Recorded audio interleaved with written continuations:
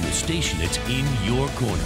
You're watching Fox 4 News at 10. Hurricane forecasters from Colorado State University revealing their hurricane forecast today. They say they expect a slightly above average hurricane season with 14 named storms, seven hurricanes, three of which are expected to be major hurricanes. But with the strong season so close to starting, Four in Your Corner's Tony Sadiku went to one of the areas hit hardest by Hurricane Irma here in Southwest Florida to check on how they're rebuilding their community still. Tony?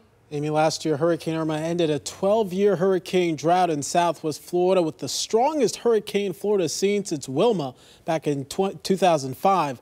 This year, who knows? But people in the Bonita Springs neighborhood I visited today there still are shaken by the devastation Irma did.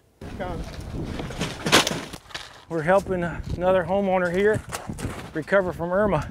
More than six months after Hurricane Irma ripped through southwest Florida, they rebuild. Lady lost her roof right inside of her house, and uh, she's a widow, lives by herself. And the roof blew off. The wind came from the north, and right behind me here, just blew this section off. And even when the odds were stacked against her. So she's been fighting with her insurance company for six months. Ray Junta and his team of volunteers won't stop working, cleaning, and rebuilding.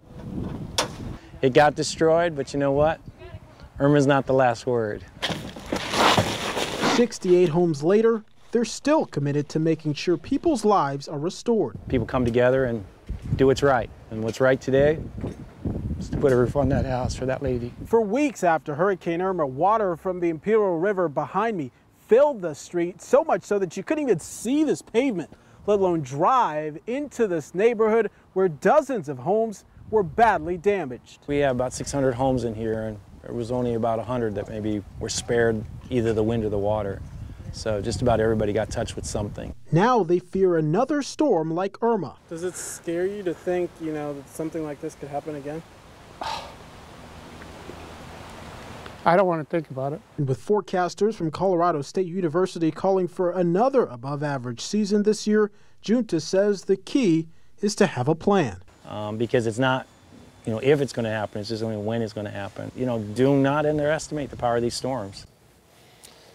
And for information on how to get ahead of this year's hurricane season by creating a plan, go to our website, fox4now.com. Tony Sadiku, Fox